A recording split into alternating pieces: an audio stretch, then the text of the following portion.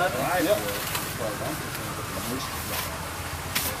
So, some of this moisture is being absorbed by our scalp, which is different than we normally, that we normally, uh, all moisture dries out from the sun. Your scalp, you have to come into.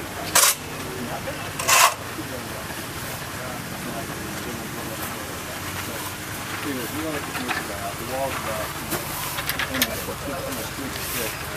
So, I could get two weeks, or three weeks is good, and then after that, we get it. Yeah, it's, um, So that's why you can cut out anywhere in there, wherever it goes, even on the roll. yeah, what they did, uh, we, we still got some burrows. That's better right ahead and there. scratched it Know out. what I need. Yeah, not so much. A little bit of, not straight. But we're trying to keep it clean, because once, you know, it doesn't look good when we're working above it, dropping cement all over it. So when you, Nah, most of that is hereditary yeah, that's though. what I What, mean, how I'm you saying. get everything?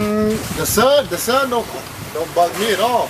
Nah, but My, my, my, my brother-in-law, which is white now, he gotta go out and put up sea and ski and for like. I, I don't I don't put that much on, but if I'm He's out too long, oh man, kill me. But my brother is I don't know, darker than Start, start burning them He's like in between you. No, my, my brother's a lot better than me. He can stay out in the sun all day. Oh, yeah? If I'm out in the sun for like three hours, I'm like, wow. I look like a lobster. yeah.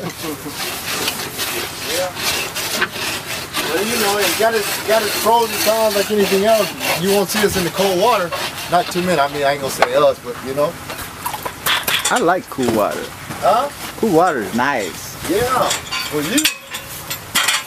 But, the cold water for No, it's amazing because since I'm from Ohio, I, I go the spectrum of hot and cold, but I don't like it. I'd rather be in 70 degree. But that, that cold freezing stuff, I don't know how some people Isaac. like 30 degrees all the time. Isaac, same thing on this window, please, okay? 30 degrees sucks.